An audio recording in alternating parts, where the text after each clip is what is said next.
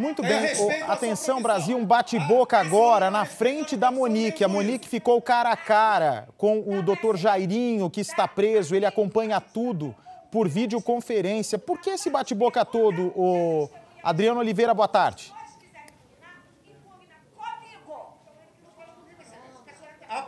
Boa tarde, bate para você, para todo mundo que acompanha o Cidade Alerta. Pois é, os ânimos ficaram bastante exaltados durante essa audiência aqui no Tribunal de Justiça do Rio de Janeiro. Isso porque o advogado da Monique Medeiros, que está presente na audiência, o Tiago Minagé, bateu boca com o promotor Fábio Vieira do Ministério Público. Ele quer desqualificar a estratégia da defesa de Monique, é desqualificar o relatório do inquérito policial é, conduzido pelo delegado Henrique Damasceno. Durante a fala do delegado Henrique Damasceno, o Tiago interviu diversas vezes. Isso irritou a promotoria e, portanto, aconteceu essa discussão. O Damasceno foi a primeira pessoa a ser ouvida. Ele falou por cerca de três horas e meia quando aconteceu essa discussão toda.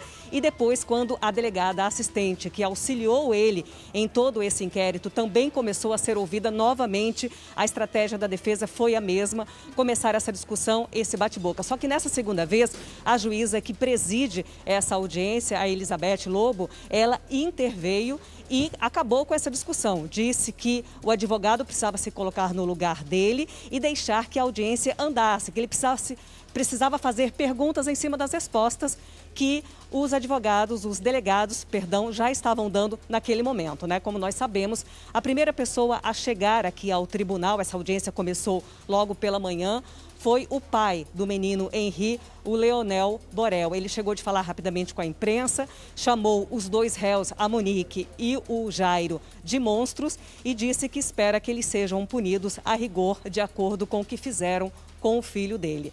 Depois, a Monique chegou aqui também calada. Ela está durante toda a audiência, até o momento, praticamente sem esboçar reação nenhuma. Ela está vestida de branco, está maquiada e com o cabelo preso.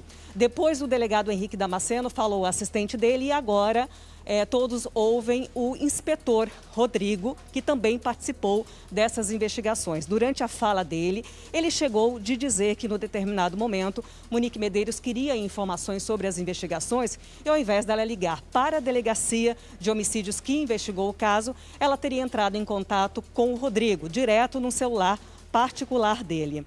É... Jairo Souza, ele não está participando da audiência presencialmente, viu?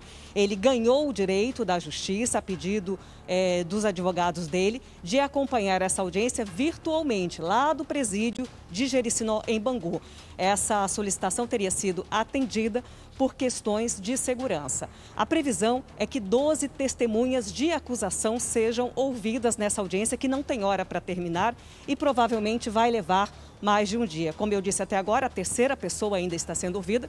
Também há a previsão de outras personalidades importantes nesse, nesse caso todo, que ficaram conhecidas, como nós sabemos, a babá Tainá, a empregada doméstica do casal Rosângela, também os médicos que atenderam o Henrique quando ele foi levado para o hospital. São três médicos e aí há uma preocupação porque duas dessas médicas não teriam sido encontradas, viu? Inclusive o Leonel esboçou preocupação, o pai do Henri, a respeito dessas testemunhas que não teriam sido localizadas para serem intimadas para essa audiência hoje. São acusações, é, são testemunhas, volto a dizer, de acusação nessa primeira fase de julgamento, né?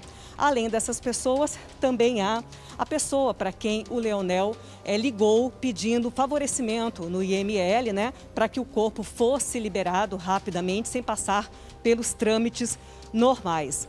Daqui a pouco a gente pode voltar com mais informações, Bate. Ok, obrigado, Adriano Oliveira. Inclusive, vem para cá, por favor. Quando a juíza, tão bonitinho Henri, né, gente? Que tragédia.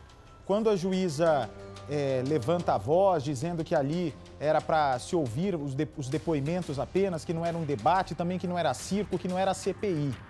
O fato da juíza ter citado circo e CPI da Covid fez com que os senadores lá de Brasília pedissem uma representação contra a juíza do caso Henri Borel. Vai dar pano para manga, daqui a pouco vai estar a juíza do caso lá na CPI da Covid. Falaram um monte dessa juíza lá em Brasília. Vamos acompanhar o desdobramento daqui a pouquinho.